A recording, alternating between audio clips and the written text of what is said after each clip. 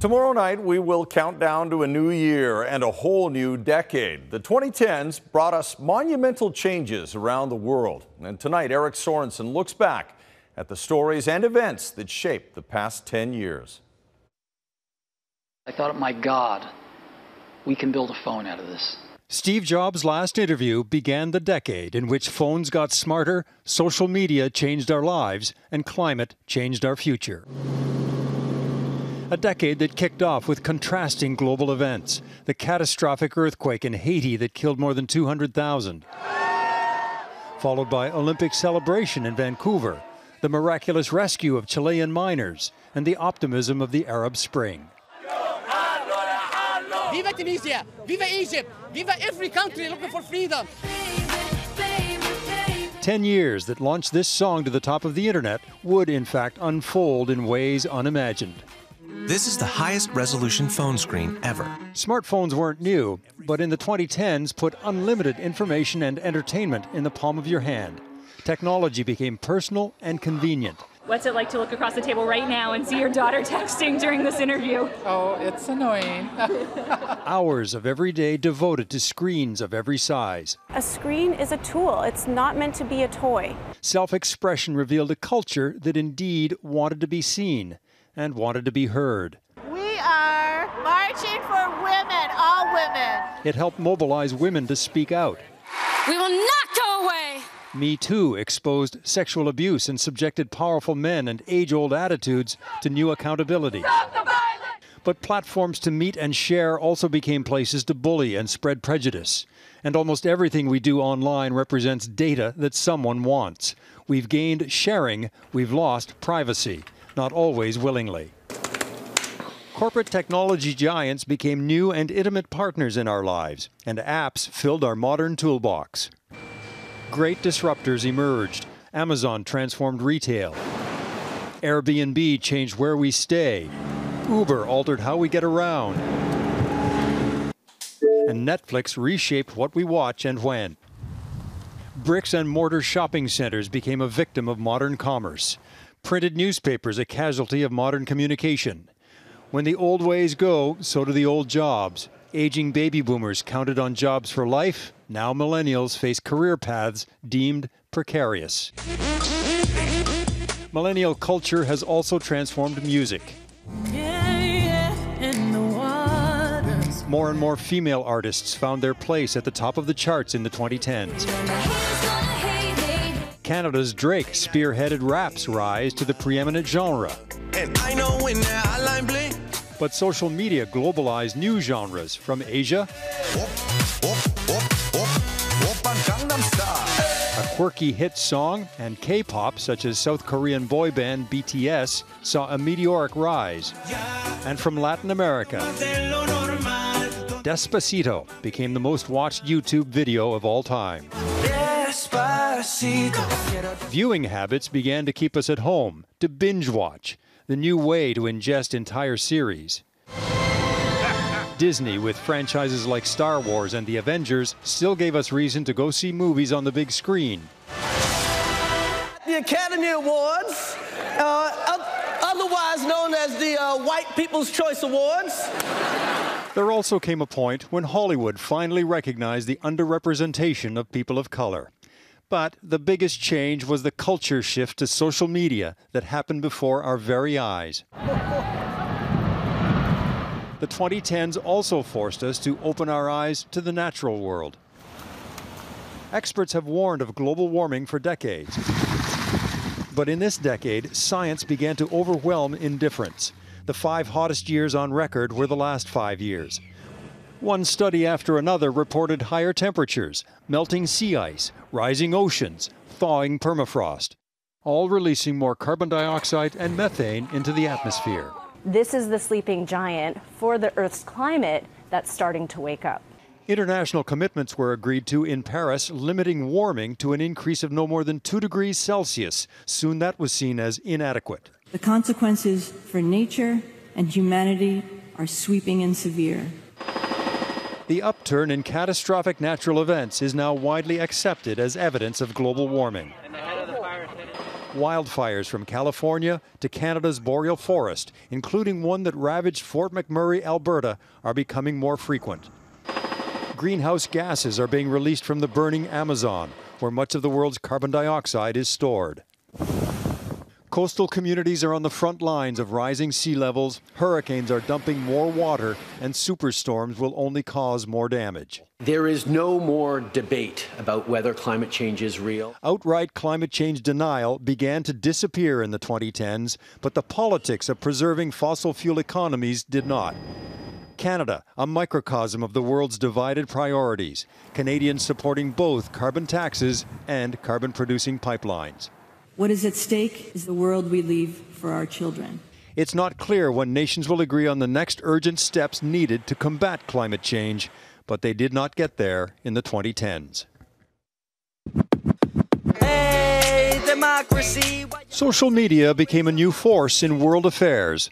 Protest movements, but also governments, gained new powers to reach the people with propaganda and surveillance. Egypt is running 24 hour coverage demonizing the Muslim Brotherhood. Some dictators were overthrown, but much of the Middle East did not democratize. In Syria, the Arab Spring collapsed into civil war and untold suffering. Hundreds of thousands were killed, tens of millions displaced. A brutal regime held on to power. It's our decision. And a genocidal extremist group called ISIS unleashed inconceivable horrors as it and other terrorist groups enlisted willing recruits worldwide. And we will destroy you. Homegrown extremism spread hate inspired attacks around the world, killing innocent civilians in France, in the United Kingdom, and at the tomb of the unknown soldier in Ottawa, bringing terror to the halls of Parliament Hill. It was another decade with countless mass killings, from the Rohingya Muslims to American school children. Well, I heard like seven loud booms, and the gym teachers told us to go in the corner. So we all huddled. Mass migration spurred a humanitarian crisis in the Mediterranean, but also served as a backdrop to the growth of anti immigration politics.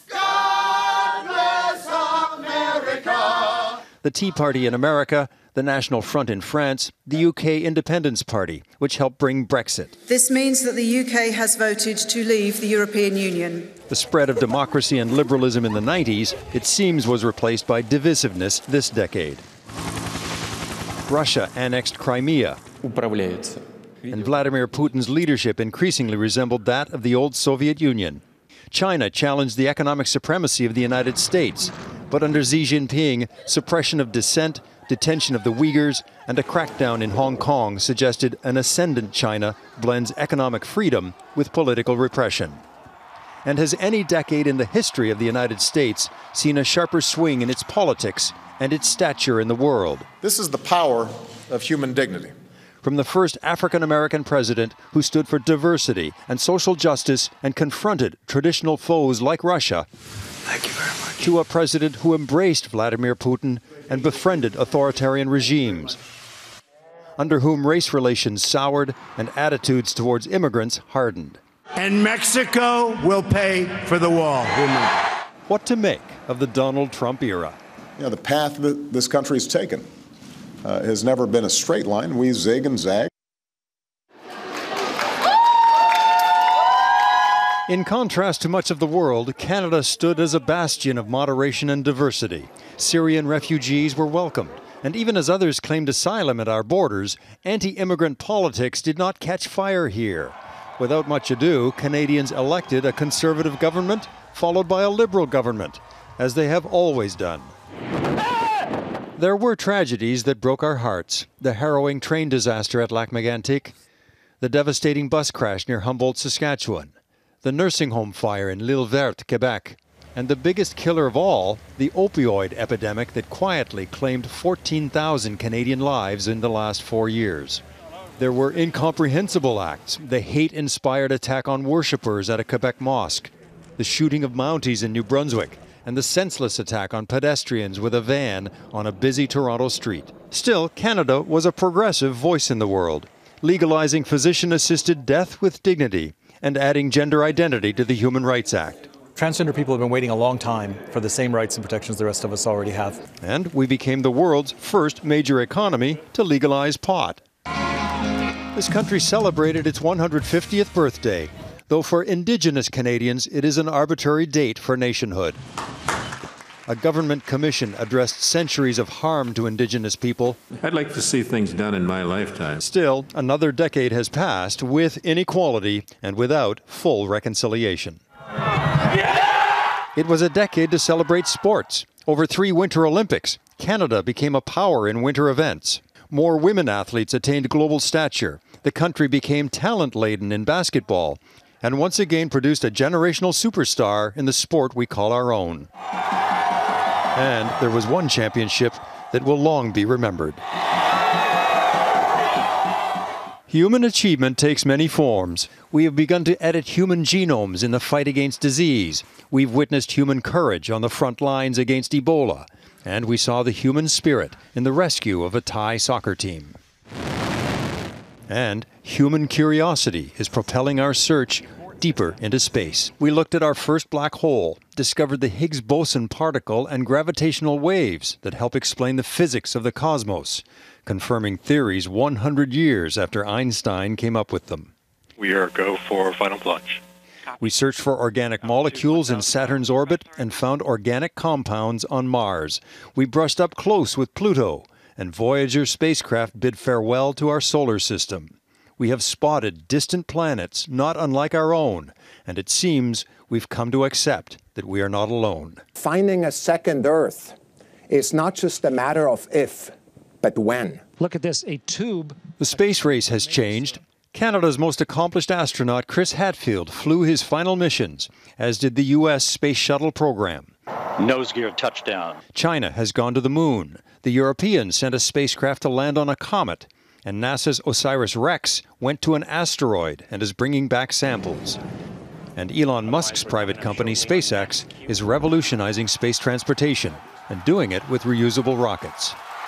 And the Falcons have landed. In time, the 2010s may be remembered as the decade when we realized the possibilities of personal technology in our lives, the vulnerabilities of the planet from our actions, and the limitations still of what we know about our universe.